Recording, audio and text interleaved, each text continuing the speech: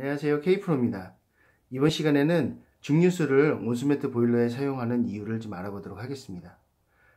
가장 큰 이유는 스케일 제거를 위해서인데요. 스케일은 우리가 물을 끓이면 그 주전자나 냄비 바닥에 하얗게 앉는 그런 걸 스케일이라고 하는데요.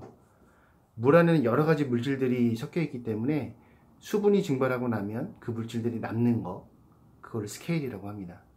이 온수매트 보일러는 그런 끓이고 식고 하는 작업을 계속 반복하는 도구이기 때문에 그런 스케일이 많이 끼고요.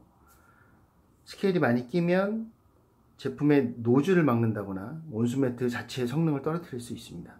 그래서 증류수를 사용하시면 좋고요. 지금 한번 보충을 해보도록 하겠습니다. 지금 이 제품 같은 경우에는 1리터짜리 아니, 싱글 제품이고요. 싱글 제품은 약 1.5리터의 물이 들어가고 더블이나 퀸 사이즈의 경우에도 뭐 2리터 정도 들어가는데 그 제품의 경우에도 지금 보충하는 이 물이 4리터거든요. 4리터 두 개면 충분히 1년을 사용하실 수 있는 양입니다.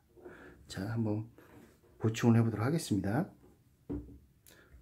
보충하는 방법은 너무 간단하죠. 그냥 부어주시기만 하면 됩니다. 자 이렇게 물이 채워졌으면 제품을 작동시키시면 되고요 처음 최초에 사용하시면 이 물이 노즐을 타고 카페트로 돌기 때문에 물이 쭉쭉쭉 들어갈 거고요. 그러면 2, 3회 정도 물을 더 보충해 주시면 완충이 되게 됩니다. 자 이렇게 해서 증류수를 온수매트 보일러에 사용해야 되는 이유를 설명드렸습니다. 이상 K프로였습니다